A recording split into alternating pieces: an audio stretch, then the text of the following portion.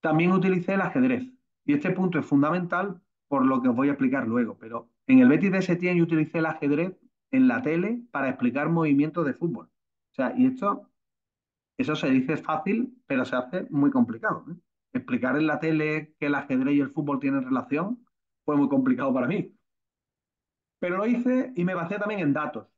Entonces, eh, no estoy parando el vídeo porque eh, son datos que, vamos, son públicos, que, ustedes entendéis más de datos que yo porque estáis haciendo el curso y estáis a la última.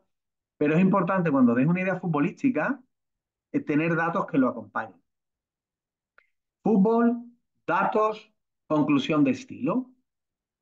En el libro El Estratega, que os aseguro que es un libro de estilo de juego muy, muy detallado, analizo, fijaos, las distintas alturas, ese juego exterior, el orden que tenía el equipo de Setién muchas veces, la incapacidad de tener un plan B, que le falló en la última etapa, la importancia de la presión. En definitiva, fui desgranando pequeños conceptos en un estilo. Y el último